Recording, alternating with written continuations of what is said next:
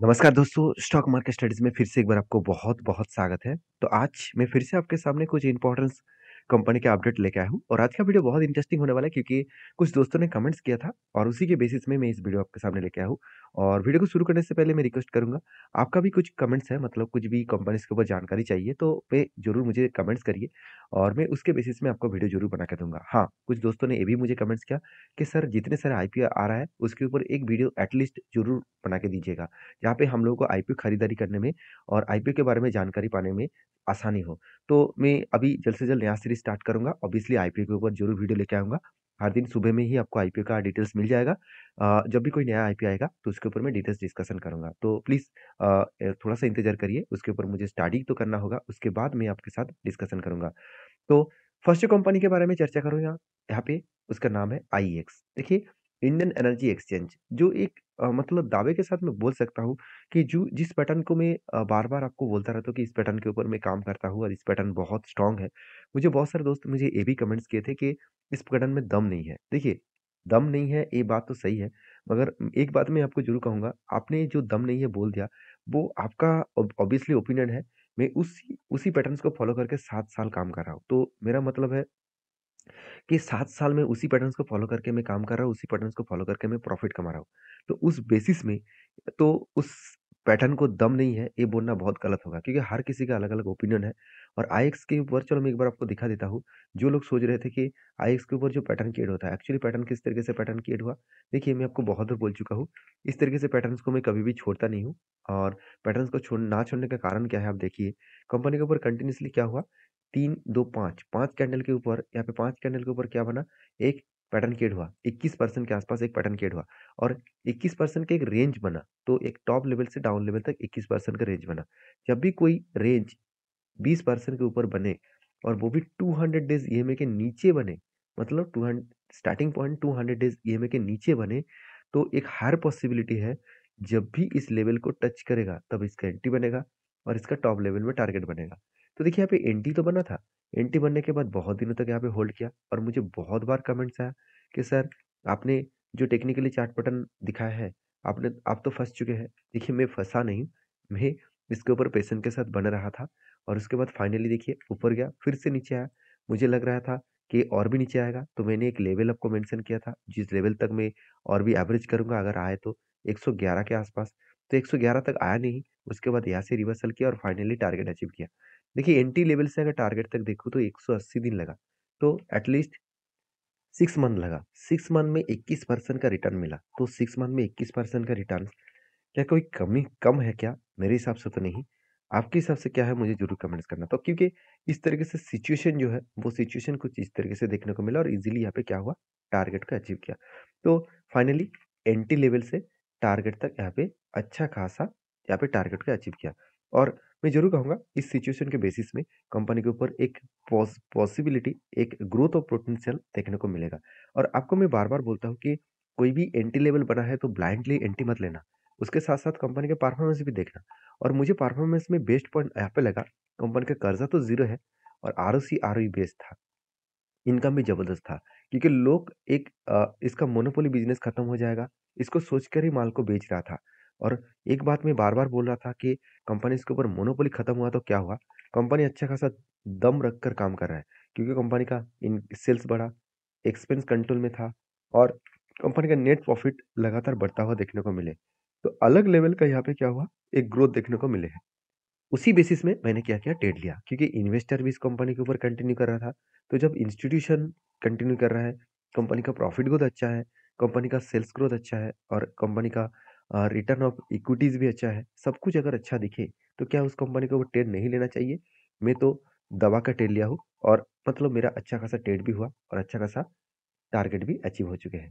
तो कहने का मतलब है कि जो लोग सोच रहे हैं कि पैटर्न्स में दम नहीं है, मैं आपको बता दूँ पैटर्न्स में दम होगा। आपको उसी पैटर्न्स में दम नहीं दिखेगा, जहाँ पे आपको फंडामेंटल और फाइनेंशियल ठीक नहीं है। तो फंडामेंटल और फाइनेंशियल ठीक है, उसके बाद कोई टेक्निकली आपको सपोर्ट दे रहा है, तो वो वो ट्रेड आपको बेस्ट तरीके से टारगेट अचीव करा सकते हैं। ऐसे नहीं कि जब भी आप एंट्री लेंगे, वहाँ से डायरेक्टली टारगेट देगा, ऐसे होगा नहीं, कुछ टाइम लग सकता है। तो आपके क्या राय है? ज़रूर कमेंट्स करके बताना। देखिए, आप आपको मैं बार-बार बोलता रहा मतलब बोलते रहा हूँ कि कोई भी कंपनीज़ के ऊपर अगर आपको सही लगे, आपको डिसीज़न सही लगे तो उसके ऊपर स्टडी करके काम करना और वीडियो अच्छा लग रहा है तो प्लीज़ एक लाइक ज़रूर करना। तो नेक्स्ट जो कंपनी उसके नाम है वेदांता, जिसका नाम है विडेल। देखिए विडल के ऊपर बहुत सारे लोगों का कन्फ्यूज़न है और बहुत सारे लोग इस कंपनी के ऊपर निवेश भी करके रखे हैं। देखिए मैं इसके ऊपर कभी भी अ, मतलब जब भी काम किया हो वो ट्रेडिंग पर्पज़ में किया। कोई भी आज तक कोई भी इन्वेस्टमेंट पर्पज़ में काम नहीं किया क्योंकि मुझे इस कंपनी में कुछ दम नहीं लगता है क्योंकि कंपनी के ऊपर बहुत सारा मतलब घोटाला केस है। क्योंकि मैं इसके ऊपर एक डिटेल्स वीडियो भी आपके साथ शेयर किया था क्योंकि कंपनी का डिविडेंड यील्ड अब देखेंगे 38.9% आज तक की इंडिया में जितने सारे कंपनी से सबसे ज़्यादा डिविडेंड पे आउट इसी कंपनी ने दिया है 38.9% का मतलब आप समझते हैं कि एक कंपनी के अगर ऊपर किसी व्यक्ति ने एक लाख रुपया निवेश करके रखे थे तो उसको इस बार thirty eight thousand nine hundred rupees dividend के हिसाब से मिलेगा तो कितना बड़ा धमाका डिविडेंड मिला है आप सोचिए तो इसको देखकर बहुत सारे लोग खुश हो जाएँगे मगर एक मैं एक चीज़ में बता दूँ, कंपनी आपके पैसा आप ही को घूम फिर कर दे रहा है। तो जो लोग सोच रहे है कि डिविडेंड बहुत शानदार मिला, इसके लिए मैं बता दूँ, मान के चलिए आपको मैं आज ₹100 दे रहा हूँ। तो आपको आज ₹100 दे रहा हूँ और कल आपको पचास दूँगा और परसों आपको पचास दूँगा तो आप कहेंगे मुझे तो दो दिन में 50-50 मिल गया, मुझे तो ज़्यादा टाइम ज़्यादा टाइम्स पैसा मिला। बिल्कुल नहीं, अल्टीमेटली आपको कितना मिला? अल्टीमेटली आपको सौ मिला।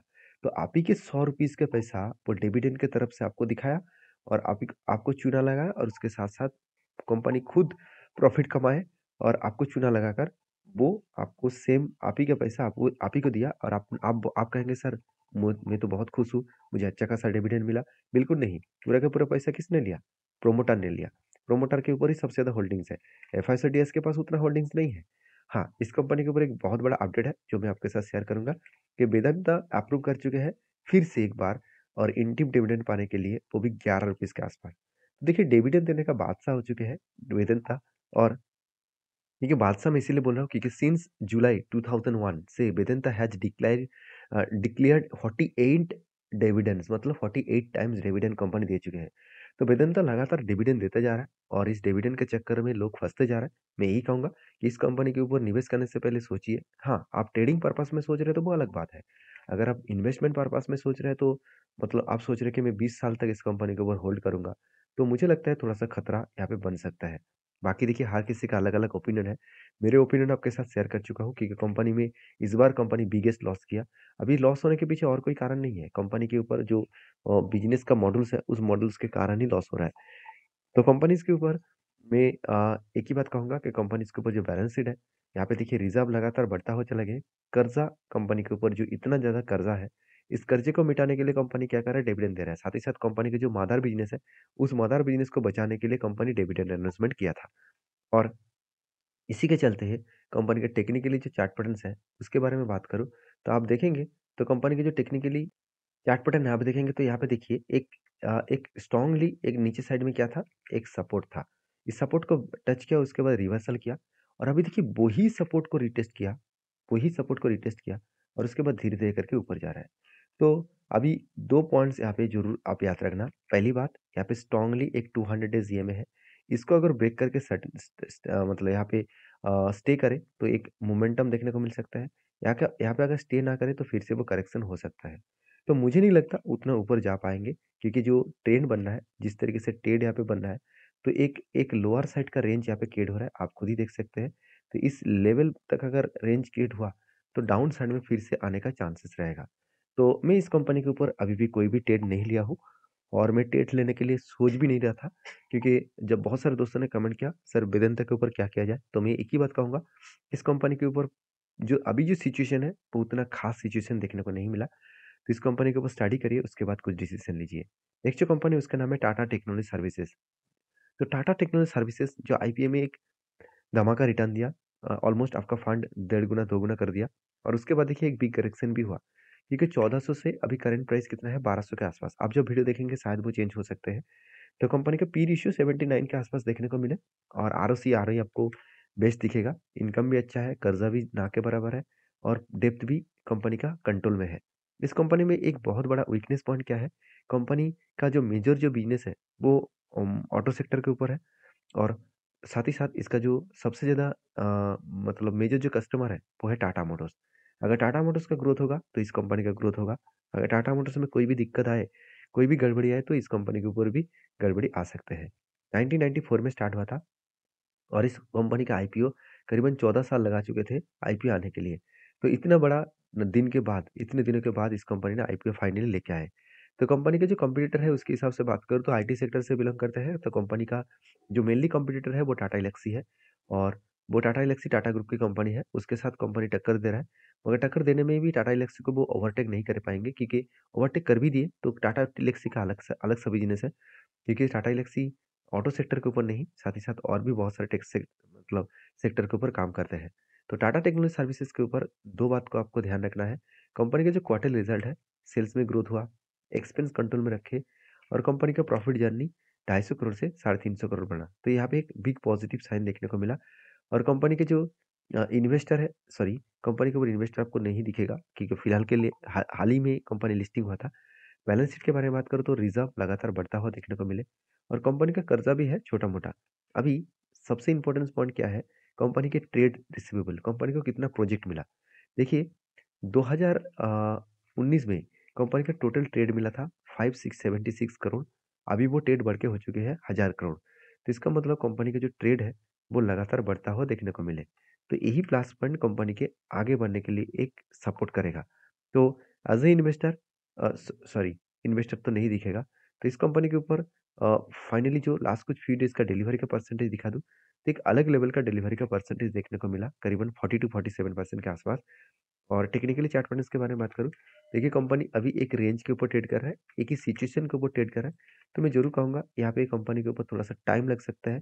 कंपनी देखिए जब जो लोग बाय करके रखे थे वो तो प्रॉफिट बुकिंग करेंगे ही। तो प्रॉफिट बुकिंग जो हो रहा है, मैं एक चीज़ आपको यहाँ पे कह सकता हूँ कि प्रॉफिट बुकिंग होने के बाद देखिए वॉल्यूम धीरे-धीरे करके वीक होता जा रहा है।